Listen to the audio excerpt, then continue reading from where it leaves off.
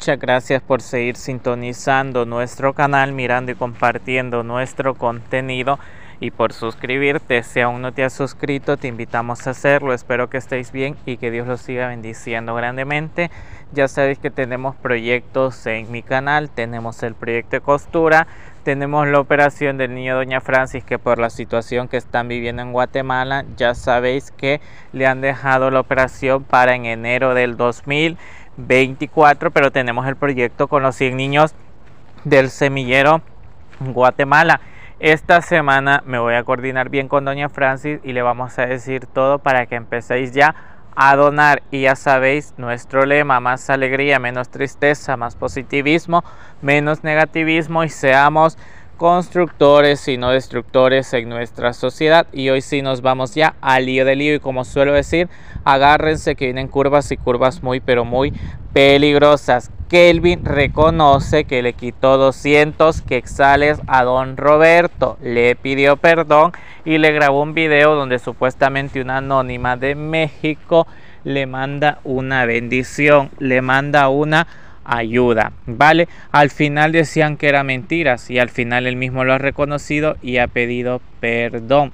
Yo no veo mal eso, pero yo no veo mal de que pida perdón, digo, lo otro sí lo veo mal porque digo yo, si hubiera sido en esos 200 quexales porque tenías que ir a comprar comida o algo, pero con esos 200 quexales lo que fuiste a hacer es a tomar, entonces yo lo veo mal.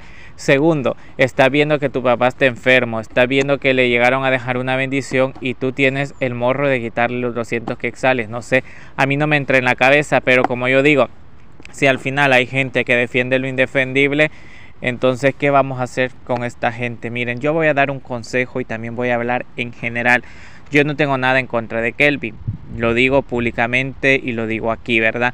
Tampoco tengo nada en contra de Michael ni del canal de él. No tengo nada porque al final y al cabo Michael para mí me parece buena persona y no voy a entrar en más detalles y nunca hemos hablado ni hemos interactuado ni WhatsApp ni mensajes ni nada, ¿vale?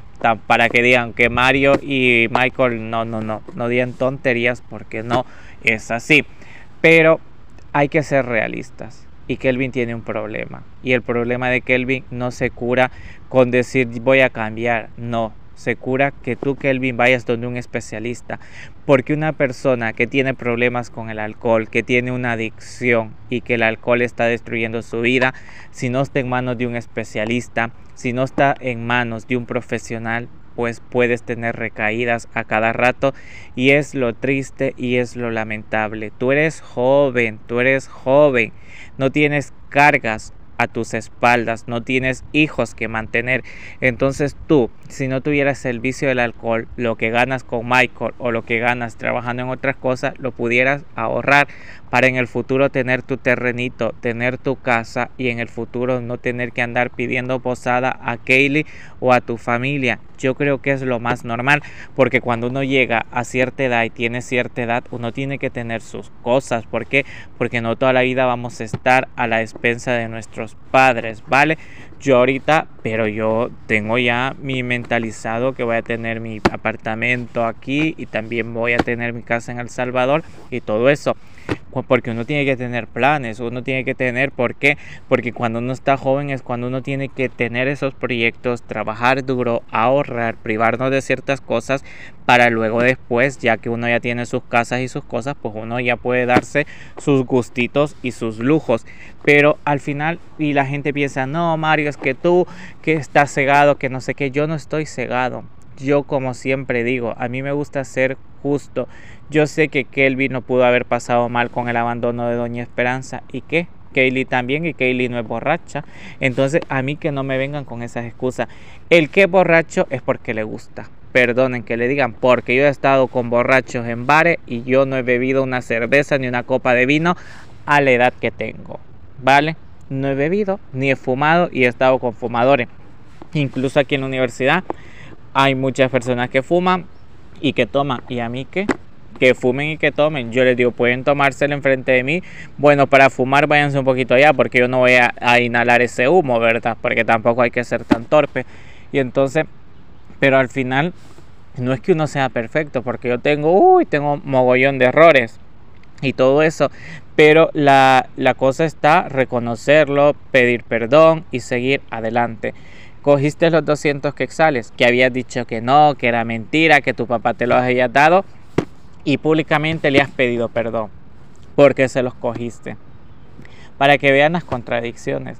Que al final está bien, has pedido perdón, has reconocido tu error, yo no digo nada, me callo, pero está muy mal, porque tú sabías la situación que estaba tu papá, el momento que estaba atravesando y tú sabías que esa bendición le había venido de una suscriptora y a mí no se me hace justo eso y hay que decirlo, ¿vale?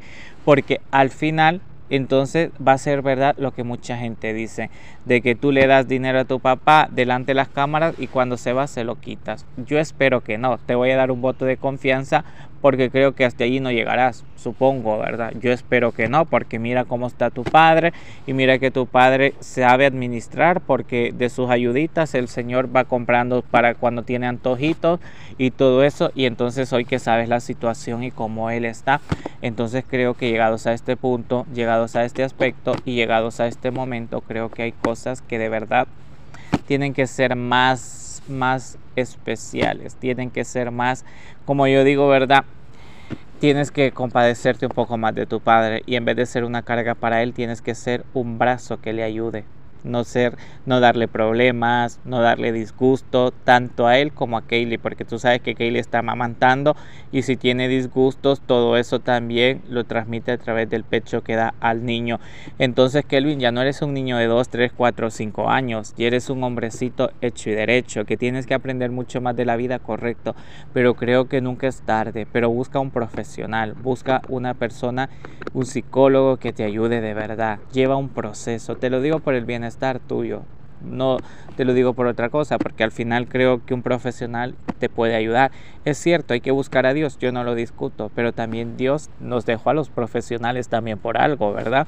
Y también los profesionales nos hemos matado también en un salón y en una mesa estudiando y machacándonos para llegar a ser profesionales, digo yo, ¿verdad?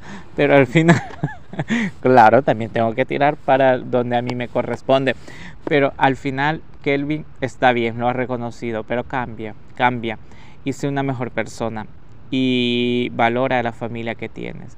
Porque al final Kaylee y tu padre te quieren tanto y han hecho muchas cosas por ti y creo que tú tienes que aprender a valorar todo eso y tienes que darte cuenta de lo bendecido que estás de tener una hermana como Kaylee y un padre como Don Roberto. Ve lo bueno siempre, no veas lo negativo, ¿vale?